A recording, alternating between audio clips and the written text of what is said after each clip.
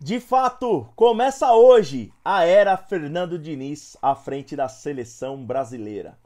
Grande abraço para você que se liga no canal DNA, sejam todos bem-vindos a mais um vídeo. É isso aí, depois de duas Copas do técnico Tite, começa hoje de fato a era Fernando Diniz na frente da seleção brasileira de futebol, visando sem dúvida nenhuma a Copa do Mundo de 2026 que será disputada nos Estados Unidos, México e Canadá. Bom, o Brasil não vence a Copa do Mundo desde 2002, então é uma estiagem muito grande, parecida com a última que tivemos, né, de 1970 até 1994, 24 anos. Claro que ainda fica essa interrogação em relação à sequência do Fernando Diniz. Muita gente fala do Carlo Ancelotti, eu, sinceramente, não tenho a certeza que venha. É, um contrato com o Real Madrid. E, e, por isso que é importante essa sequência do Fernando Diniz.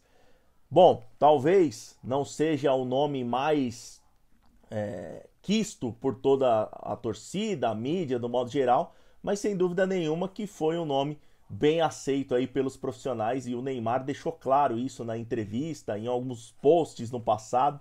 E ontem, com essa coletiva do Neymar, ficou muito claro qual que é o objetivo é, da seleção brasileira e também do elenco, dos jogadores mais experientes ali, podemos dizer Marquinhos, o próprio Neymar, Casemiro, é, as referências aí dessa, dessa seleção. Bom, antes de continuar falando da seleção, as eliminatórias começaram, né? As eliminatórias sul-americanas começaram ontem. A Argentina ganhou lá no Monumental de Nunes por 1 a 0 do, da seleção do Equador, um golaço de falta do Lionel Messi. O Paraguai empatou em 0 a 0 com a seleção do Peru, um jogo atípico, não sei quantos, seis ou sete bolas na trave, inclusive uma um voleio do capitão Gustavo Gomes do Palmeiras. É, a Colômbia venceu por 1 a 0 a Venezuela, né? Com um gol do Borré. E hoje, além do Brasil e Bolívia, tem Uruguai e Chile, um jogo bastante interessante também. Bom, eu vou colocar o campinho aqui, ó, o possível time do Fernando Diniz para essa estreia. Ederson, do lado direito Danilo, a dupla de zaga com Marquinhos e a novidade, né, o Gabriel Magalhães, e lá na esquerda o Renan Lodi. No meio-campo, Casemiro, ao lado ali do Bruno Guimarães e o Neymar. E lá na frente o Rodrigo, por um lado, o Rafinha do outro lado e centralizado o Richarlison. Não é oficial, mas é a provável escalação da seleção brasileira que enfrenta hoje a Bolívia às 21h30 lá em Belém do Pará, no Mangueirão. Dia 12, na terça-feira, o Brasil enfrenta o Peru, lá em Lima, joga a primeira fora de casa.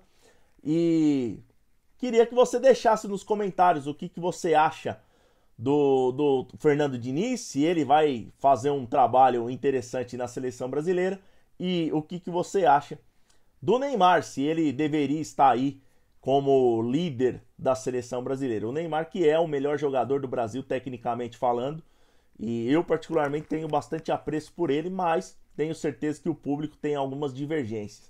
Também não é o meu nome preferido, o Fernando Diniz, porém, é, um, um, uma opinião pública, o Fernando Diniz tem bastante espaço aí na, na seleção brasileira. Então, eu quero que você deixe os seus comentários o que, que você acha do Diniz, o que, que você acha do Neymar. E claro, pedir para quem não for inscrito, se inscreva no canal DNA, deixa o seu like, ative as notificações, porque aqui tem vídeo todos os dias, beleza?